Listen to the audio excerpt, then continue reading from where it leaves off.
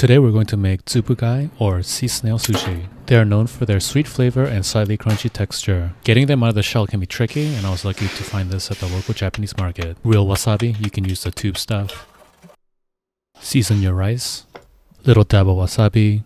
Put the rice ball in, squeeze, rotate, squeeze. Now it's ready to eat. Serve with a little bit of soy sauce. The flavor is slightly sweet. Best part though is the crunchy texture. Enjoy.